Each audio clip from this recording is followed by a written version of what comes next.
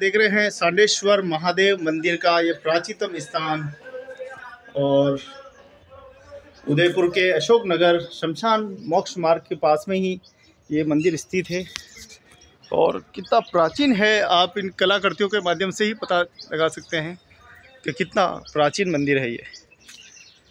आज भी, हज़ारों वर्ष के बाद भी आज भी देखिए मंदिर पर आज जहाँ सीमेंट सब फेल हो जाती है, वहाँ देखिए, आज भी कोई सीमेंट नहीं, कुछ नहीं, और बहुत ही खूबसूरती के साथ आज भी खड़ा है और इस तरफ़ पूरा मोक्ष मार्ग है और उस तरफ़ भी एक बहुत बड़ी कुंड भी बनी हुई है। तो आप देख पा रहे हैं कितना खूबसूरत सा मंदिर, कितना अच्छा मंदिर हमारी संस्कृति, हमारी परंपरा, हिंदू संस्कृति को संजोए हुए है। इस तरफ़ से मैं दिखाना चाहूँगा आपको। ये देखिए कितना प्राचीन और कितनी कलाकृति से परिपूर्ण मंदिर है ये। और ये शैली जहाँ तक दिखाई दे रही है, सोलहवीं शताब्दी के मध्य ही दिखाई दे रही है पंद्रहवीं और सोलहवीं शताब्दी के मध्य है। यह नांदी है, बना हुआ। भोलेनाथ का बहुत ही खूबसूरत प्राचीन मंदिर। और चलिए, और भी बहुत सारे दर्शन और भी हैं। ये भी एक मंदिर और बात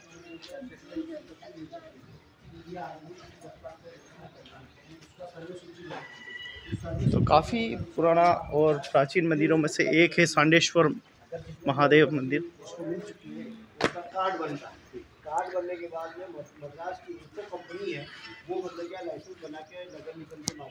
तो ये है भगवान भोलेनाथ का प्राचीनतम मंदिर में से एक शांडेश्वर महादेव मंदिर। यहाँ की आप कलाकृति को देखिए। उस ज़माने के पिलर को आप देखिए, कितने बड़े बड़े पिलर हैं।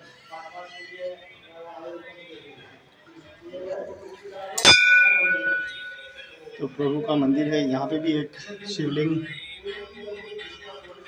और कितना खूबसूरत मंदिर है उस ज़माने में। देखिए, इस प्रकार की पुतली है। यहाँ पर विराजमान है और ये पुतली है। कितनी कला के साथ बनाई गई है। अनेकों पुतले यहाँ मौजूद है और बहुत ही खूबसूरती के साथ मंदिर का निर्माण उस ज़माने में चली थी। यहाँ कुछ शिलालेख लगी हुई है, जिसके बारे में कुछ उल्लेखनीय बातें भी लिखी हुई है। पास में ही प्राचीन बावड़ी है। तो हिंदू धर्म कितना पुराना है, आप जानते हैं। बहुत ही प्राचीन और प्राचीनतम है। बहुत ही प्राचीन धर्मों में से एक हमारा हिंदू सनातन धर्म है। देखिए, बावड़ी देखिए आप। ये हिंदू समाज की शैली का बहुत बड़ा उदाहरण है। उस ज़माने की ये प्राचीन बावड़ियाँ आज भी हमारे नगरों की शोभा बढ़ा रही है और ये प्राचीन मंदिर आज भी दर भक्तों के लिए दर्शनीय है। तो भगवान भोलेनाथ, सांडेश्वर, महादेव मंदिर बहुत ही खूबसूरत मंदिर है। आज हमें धर्म की रक्षा करने के लिए सभी सनातनियों को एक लाभबंद होकर संकल्प करना होगा कि हमें अपने धर्म की संस्कृति को बचाना है। संस्कृति दिवस पर तो हम बात करते हैं बड़ी बड़ी लेकिन आज हमें बहुत कुछ करने की आवश्यकता है। हर आदमी अपनी ज़िम्मेदारी को समझेगा तो मुझे लग रहा हमारी संस्कृति को हम और भी ज़्यादा अच्छा बचा पाएँगे। इसी संकल्प के साथ देखिए, सभी साथी जो है, स्वयं साफ़ सफ़ाई कर रहे हैं, बावड़ी के आसपास। सभी वरिष्ठ भी मौजूद है और ये बावड़ी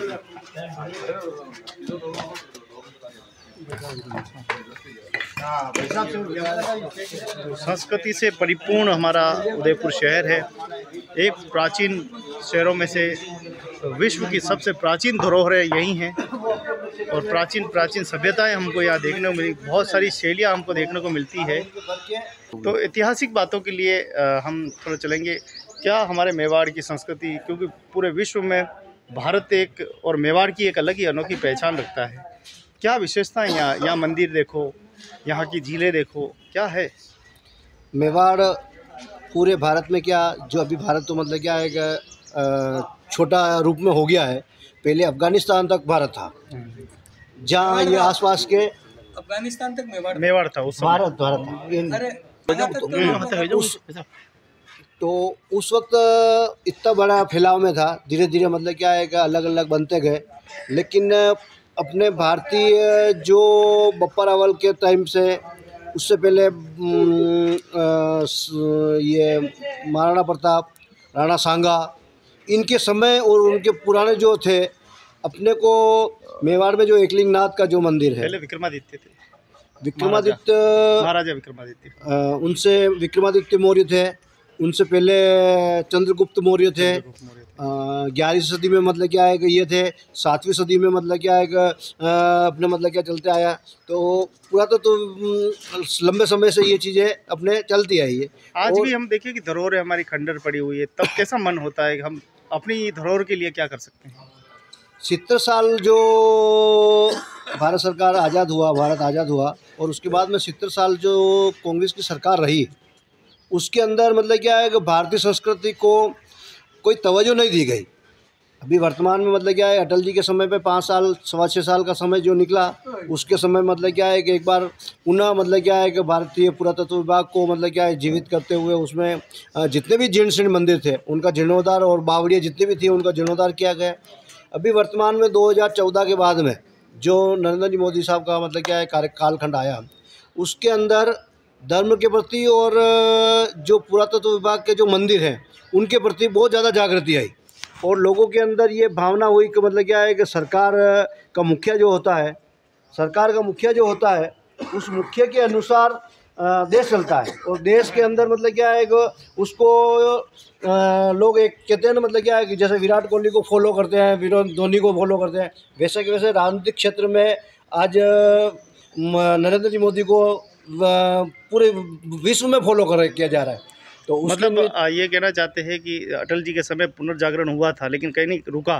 लेकिन अभी पुनर्जागरण हो रहा है। ये कैसे आ, अटल जी एक उदारवादी नेता के रूप में विश्व में विख्यात थे। मोदी जी मतलब क्या है कि जैसे अपन पुराने समय में कह सकते हैं कि अटल जी राम जी के सम उदारवादी थे और मोदी जी हैं कृष्ण वाले विचारों के हैं। तो वो मोदी जी का मतलब क्या मतलब है कि भारतीय संस्कृति कैसे भी जीवित रहनी चाहिए। शाम, दाम, दंड, भेद, जो भी लगाना है सब लगाना। लेकिन भारतीय संस्कृति जीवित रहनी चाहिए। और उस जीवित रखने के लिए और हिंदू धर्म की रक्षा के लिए उन्होंने जो जो कदम उठाए, वो भारत के इतिहास में स्वर्णिम अवसरों में लिखा जाएगा बहुत बहुत धन्यवाद। आप जानते हैं कि हिंदू संस्कृति और हिंदू परंपरा और हिंदू के पारंपरिक मंदिर को तोड़ने का काफ़ी विद्रोहियों ने प्रयास किया। मुगलों ने प्रयास किया, बाहर से आए, जितने भी आक्रमणी थे, उन्होंने प्रयास किया, लेकिन आज भी हमारा हिंदुस्तान खड़ा है। आज भी हमारी संस्कृति खड़ी हुई है और संस्कृति का उदाहरण हमारा चीख चीख कर हमारे मंदिर देते हैं कि हिंदू सनातन धर्म हज़ारों वर्ष पुराना है और प्राचीनतम है। तो देखो, स्वयं भाई साहब देख दीजिए, देखो। हाँ हाँ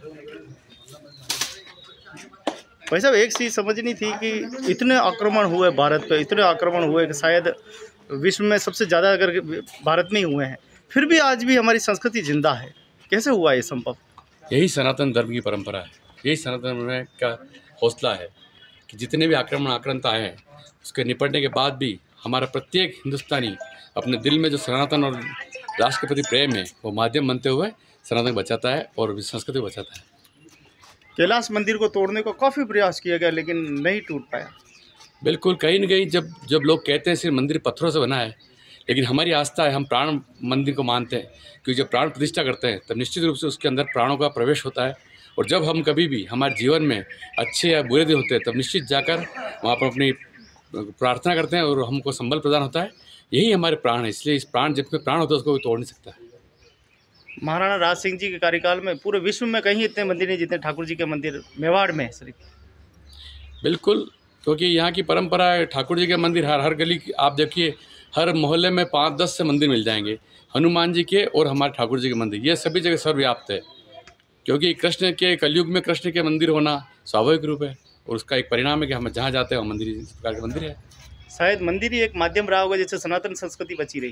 निश्चित रूप से आस्था के केंद्र होता है, जहाँ सभी आस्थाएँ कहीं हनुमान जी में हो सकती है, किसी की राम भगवान में कृष्ण भगवान में, सनातन धर्म में, जिसमें जिस सभी प्रकार देवी देवताओं के माध्यम से हम लोग सप्ताह ही दिन में सातों ही दिन में किसी न किसी भगवान की आरती करते हैं। निश्चित रूप से हमारी परंपरा, हमारा जुड़ाव, यहाँ गरीब, अमीर ऊंच नीच का कोई भेदभाव नहीं रहता है और ये सभी भावना एक साथ मिलकर जब हम कोई सामूहिक कार्य होता है, उसमें सनातन में सब एक साथ मिलकर काम करते हैं, इसलिए वो उत्साह अलग है, सनातन का रंग अलग है। और ठाकुर जी के जो इस फागन महोत्सव में जितने ठाकुर जी के रंगों का जो काम है, कलर है, वो कलर निश्चित रूप से सनातन धर्म ही है। बाकी सभी में एक कलर पर सिमटी हुई दुनिया है। यहाँ तमाम अलग अलग समय पर अलग अलग कलर से और कलर बिखराव से, छटा से, सतरंगी से हमारे दिल में सरोबार होता है और निश्चित रूप फागन महिला होली है। तो उस कलों का उत्सव उस ढंग से मनाया जाता है सनातन में। भारत माता के लाल भगत सिंह जिसने हँसते हँसते प्राण त्याग और अमर शहीद उनके साथ। आज जयंती भी है। बिल्कुल। उन लोगों ने जब पता चला कि सिर्फ़ अहिंसा के माध्यम से हमें आज़ादी मिली है लेकिन ऐसे असंख्य लोग हैं जैसे भगत सिंह जी वो बाल कम उम्र में जिनको फांसी सर दी जिनकी माँ ने जब इस गर्व के साथ कहा मेरे पास मेरा एक ही बेटा क्यों हुआ? निश्चित रूप से धन्य है वो कोक। इस प्रकार के बेटे को जन्म देती है उसके साथ राजगुरु राजगुरु का इतिहास आप देखिए निश्चित रूप से स्वतंत्रता में जो उग्र उग्र आंदोलन में ये लोग साथ रहे थे और जो युवाओं की फौज तैयार की उस माध्यम से सिर्फ़ कहने से नहीं है जिन लोगों के परिवार में बलिदान हुए उस बलिदान के आधार पर आज हमें ये स्वतंत्रता प्राप्त हुई है। ये सिर्फ़ चरखा चलाने से आज़ादी प्राप्त नहीं हुई। कई परिवार की पीढ़ियों की पीढ़ी गए हैं और कितने युवा कितने अपने माओ ने लाल खोए तब जाके स्वतंत्रता प्राप्त हुई। क्या उन गुमनाम पन्नों को अपने को लाना पड़ेगा सामने? बिल्कुल जिस प्रकार से मोदी सरकार लगातार उन गुमनाम व्यक्तियों को इन छोटे छोटे व्यक्तियों को पद्म पुरस्कार सम्मानित कर रही है भारत रत्न सम्मानित कर रही है ये उसी की कड़ी है। क्योंकि जब तक हम हमारे सनातन की परंपरा को नहीं निभा सकते हम उनके रख रखाव नहीं कर सकते तो निश्चित रूप से हम हमारी संस्कृति नहीं बचा सकते फिर हमारा बचना भी मुमकिन ही नहीं है। बहुत बहुत धन्यवाद। जय राम। जय श्री राम। जय श्री राम। जय श्री राम।